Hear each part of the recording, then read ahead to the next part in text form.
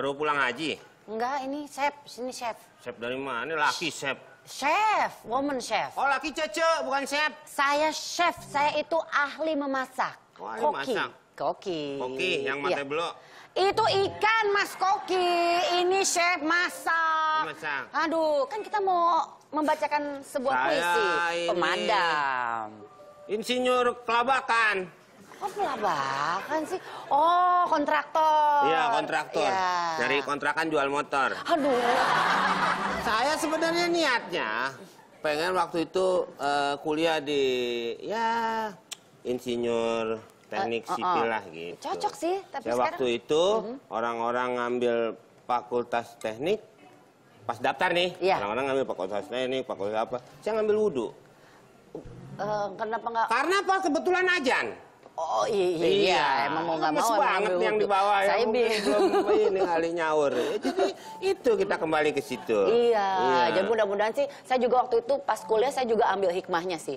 Banyak hikmah yang saya ambil pas Iya. Oh kuliah. bagus kalau begitu. Ya sudahlah kalau gitu saya sudah punya puisi yang sudah saya siapkan. Iya. Karena saya adalah seorang chef. Oh, Kamu iya. punya puisi nggak sih Pak Oh Komeng? saya punya puisi. Puisi apa Pak Komeng? Saya puisi tentang eh, pembangunan. Ah, cocok Karena saya kan bajunya. keluaran dari eh, Universitas Bangun Jaya ya.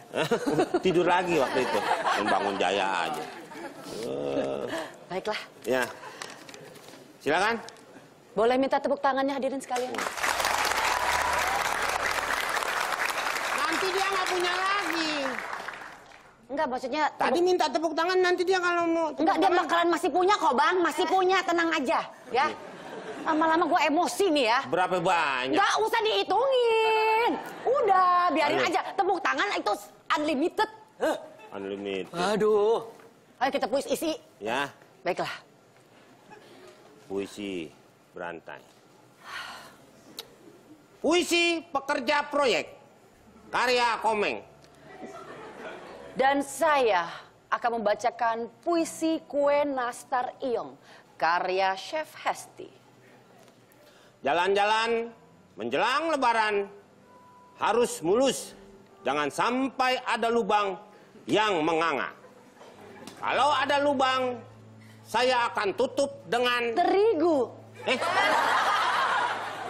Nastar. ah, jalanan tutup terigu. Nastar, nastar. Kan soalnya nastar kan. Lah truk lewat kejeblos. Terigu kan nastar kan, soalnya saya kan chef nastar.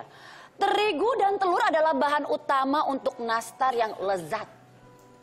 Terigu, telur, mentega, dan gula pasir kita aduk-aduk dengan... Semen. Ya saya harus pakai semen. Kalau mau bangun jembatan.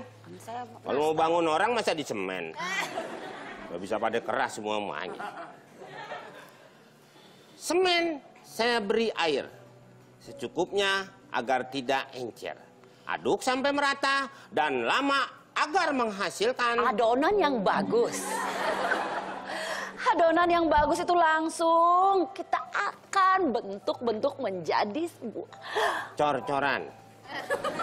kue dong, kue dong. Lah saya kan ngecor. Oh. Saya masa nggak ngecor. Coran yang akan kita gunakan untuk menutup lubang, tambahkan batu, kerikil sebagai... Isi dari kue nastar tersebut. Lah mati orang makan itu. Tadi di adonan pak, isi nastar, biar renyah gitu. Renyah pakai kerikil. Hmm. Agar lezat luar dalam. Setelah diisi kue nastar tersebut, langsung kita letakkan di... Pinggir jalan. Jangan dong, masih diletakkan di pinggir jalan. Adonannya taruh pinggir jalan buat bangun jembatan. Ah. Di pinggir jalan agar tidak terlalu jauh dengan lubang yang akan kita tutup. Jangan lupa sebelum lubang kita tutup, bahan coran harus di... Masukkan ke dalam oven. Dan dalam waktu beberapa menit, kita akan menunggu. Kue nastar itu akan matang dan siap untuk... Digiling-giling dengan mesin giling. Sekian dan terima gaji. Ah, berisik mulu. Mendingan langsung saja